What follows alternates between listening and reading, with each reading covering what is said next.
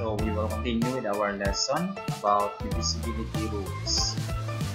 For today, we will discuss about divisibility rules for 4, 7, 8, 11, and 12 to find the common factors of numbers.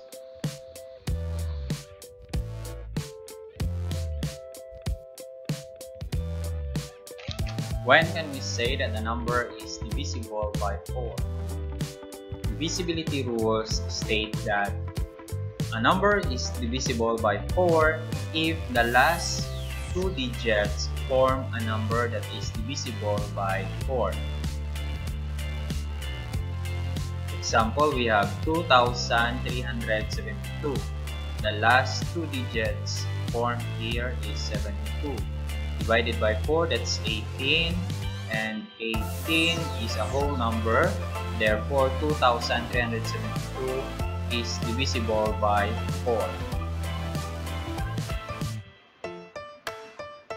Also, numbers ending in two zeros are divisible by 4. Example, we have 5,200. It ends with two zeros. Divided by 4, that is, equal to 0. And 0 is a whole number. Therefore, 5,200 is divisible by 4. Another example, we have 1,213. So the last two digits 4, is 13. Divided by 4, that's equal to 3 with a remainder of 1.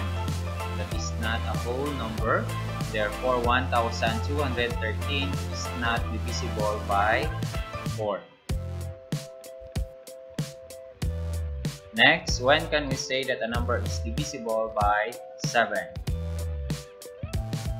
So we can determine that a number is divisible by 7 when we multiply the last digit by 5 and add it to the remaining number. If the sum is a multiple of 7, then that number is divisible by 7. Example, take the number 392. So the last digit here is 2 multiplied by 5 that's 10 then add uh, to the remaining number which is 39 so 39 plus 10 equals 49 and 49 is a multiple of 7 so 392 is also a multiple of 7 or it is divisible by 7 Another example, we have 2,457. If we are going to solve it step by step, so we will start from 2,457. The last digit here is 7 times 5, that's 35, plus the remaining number, which is 245, that is equal to 280 from 280, the last digit is 0. 0 times 5, that's 0. Plus the remaining number, which is 28, equals to 28. Then from 28, the last digit is 8. 8 times 5, that's 40. Plus the remaining number, which is 2, equals 42. From 42, the last digit is 2. 2 times 5 that's 10 plus the remaining number which is 4 which is equal to 14 from 14 the last digit is 4 4 times 5 that's 20 plus 1 is equal to 21 from 21 the last digit is 1 1 times 5 that's 5 plus 2 that's equal to 7 so 7 is divisible by 7. Therefore, we can say that 2457 is also divisible by 7. So as you can see, if you keep going, you will always end up with either 7 or 49 if the original number is a multiple or divisible by multiple of 7 or divisible by 7.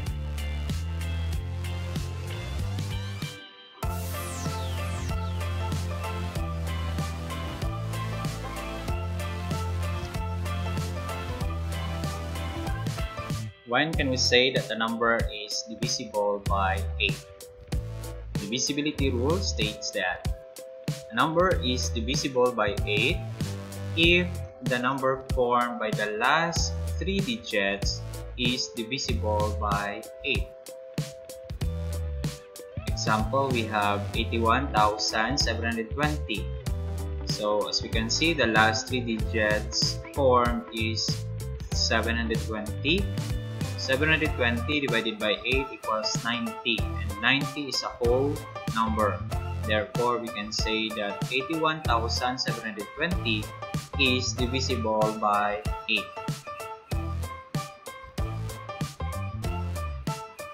Also, a number ending in three zeros are divisible by 8. Example, we have 54,000. So as we can see, the last three digits form is zeros, three zeros. And if we divide that one by 8, that is equal to 0.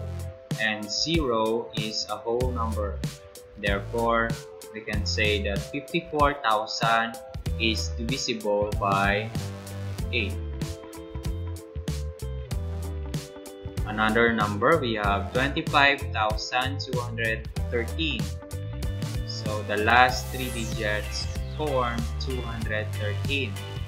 And 213 divided by 8 equals 26 with a remainder of 5 which is not a whole number. Therefore, we can say that 25,213 is not divisible by 8. How about 11? so when can we say that a number is divisible by 11? So a number is divisible by 11 if the difference between the sum of the digits at the odd and even places equals to 0 or a multiple of 11. So take the number, for example, 2,585.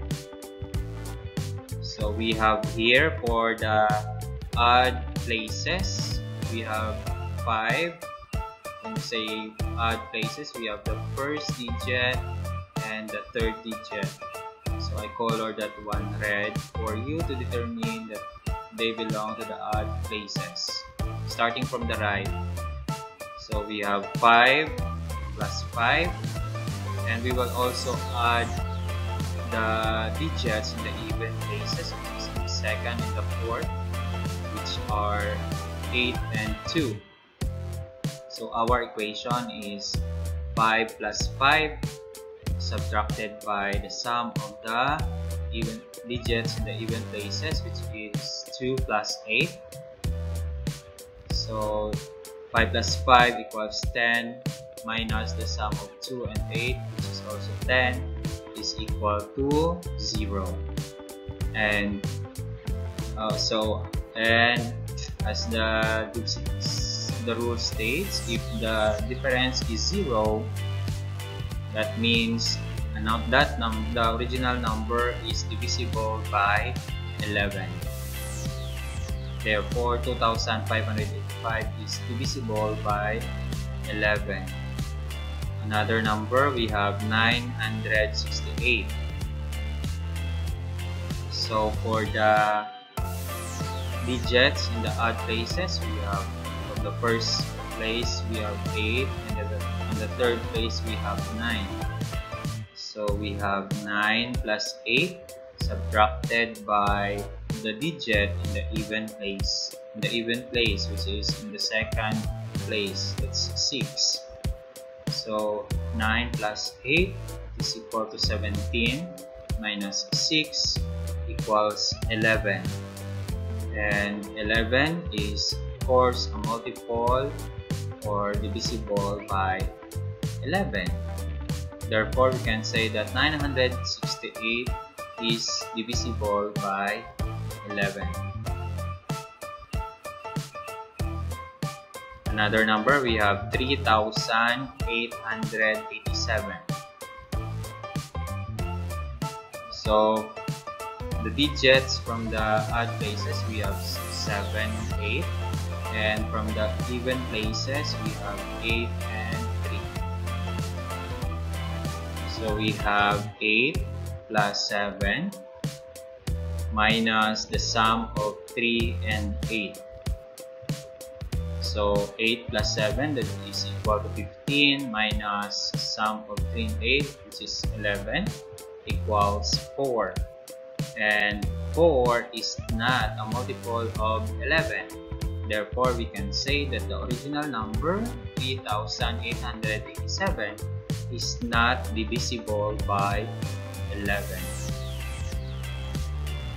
Next, for the last digit 12, when can we say that a number is divisible by 12? So, a number is divisible by 12 if the sum of the digits of the number is divisible by 2 and 3. So, for example, we have 372. So, we, we will add the, uh, three digits. So, we have 3 plus 7 plus 2 that is equal to 12. And 12 is naturally a multiple of 12 itself. Therefore, 372 is divisible by 12. Another example, we have 2,833. So we will add the digits. 2 plus 8 plus 3 plus 3 equals 16. And 16 is not a multiple of 12. Therefore, it is therefore the original number 2833 is not divisible by 12.